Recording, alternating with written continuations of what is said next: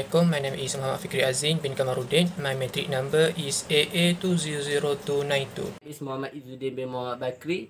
Metric number AA200475. My name is Muhammad Fidi bin Dahari. Nama matrik AA200233. Greeting guys, especially for our beloved teacher Puan Nafisa. Okay, my name is Muhammad Lokman Wan Hakim Mizana and my matrix number is AA200276. Assalamualaikum and hello. My name is Muhammad Fiti Iqwan bin Muhammad Sabri. My registration matrix number AA200562. My name is Muhammad Aziz bin Muhammad Nazir. My number matric is AA200406. Okay, so uh, for the filler table question one, we have the four main I- four main things. Is the fact, the idea, the learning issues, the resource. So the fact you can see have uh, three things. The first generation for online class closing business have no member. So we assume that we have a person and a B person for the first generation. The second fact is on generation second generation they have four new member. So the last uh, fact is each generation we increase for new member for one member in current generation. So that's about the fact. So about the ideas, we have for idea first make a table to understand the pattern of increasing ratio. So the second is find the value of member for each generation. So the third is find the difference be member between generation. The last idea is find the ratio between generation. So based on what we have, we need to find the ratio between first generation and second generation. So about the learning issue, we have to first find how to find the differences number of member between generation and second is how to find ratio between generation. Resource needed, we use uh, three resource. The first book, uh, second is internet and the last is YouTube. So that's all the uh, filler table for question one. Filler table for question 2. Fact the price of new iPhone are RM 1999 in Indonesia. Second, first month he saved RM 150 ringgit Malaysia. Third, you give your you give your brother to your brother RM 50 ringgit Malaysia for each month except first month. Idea. Find the different money between month using formula arithmetic series. Second, find the ratio between month and give in lowest answer. Learning issue. First, how to find different money that your brother save between each month.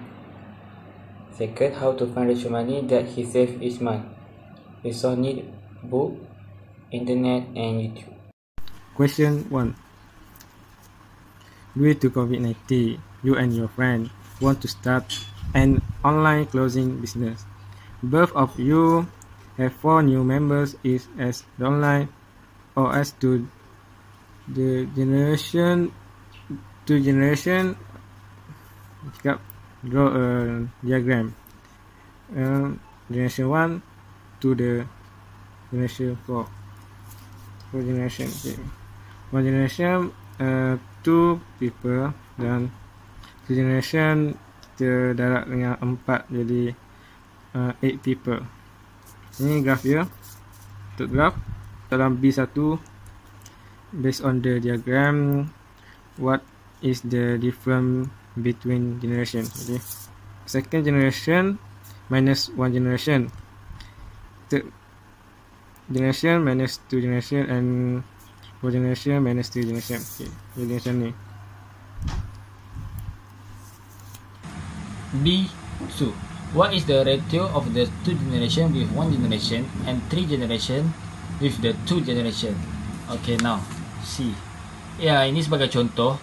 Based on question 1 and B1, the first generation you can see have a 1 and 2.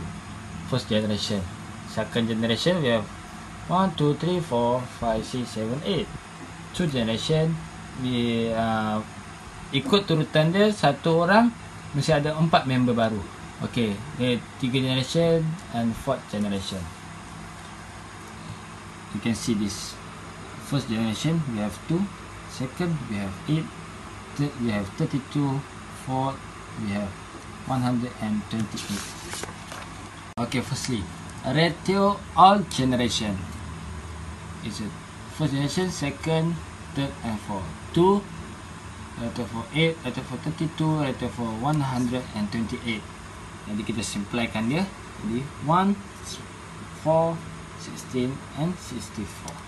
Okay, now based on the question, we uh, the question one ratio second generation with the first generation. Okay, you can see four is a second generation is a first generation. Jadi is a four. Jadi dia punya ratio is a four ratio by one.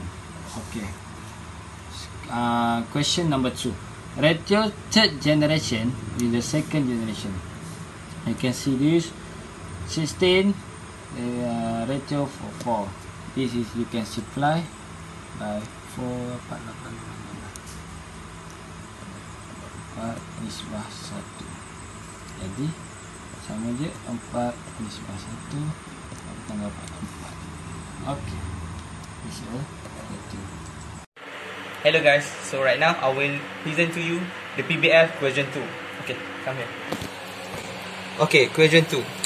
The question is your brother who is in the secondary school wants to buy a new iPhone which is cost RM999. The first month he saved 150. Each month thereafter you give him 50 ringgit. Okay. A. List the total amount money your brother saved for the first 4 months. Okay, we take example of January January, February, uh, March, April. Because it's a four month only right? Okay January he save 150 ringgit. February he, he say uh, we gave him 50 ringgit. So 150 plus 50 ringgit. 150 and plus 50 plus 50 April 150 plus 50 plus 50 plus 50 okay so January we got 150 February we got 200 March we get 250 and April we got 300 okay question 2 B2 okay question 2 B1 what is the difference between each month? Okay different each month is mean we have to subtract for from the this month uh, then from previous month so March minus with January eh, February minus with January, March minus with February, April minus with March. Okay, that's all from me. Thank you. How to find the ratio the second month with the first month and the third month with the second month. So, to find the ratio second month with first month, we just take um, second month value 200 to first month value 150 so we get the ratio 200 to 150 same with uh, third month to second month we just take 250 value of a third month to 250 200 so we get a duration 250 to 200 so the question of three Roman what is your conclusion? So my conclusion is from this uh, question we get now uh, uh, first term is 150 and common difference is 50 so with this we we can know how much we must save to get a new iPhone with this formula. So after we conclusion we find a value is 18 month so this is my conclusion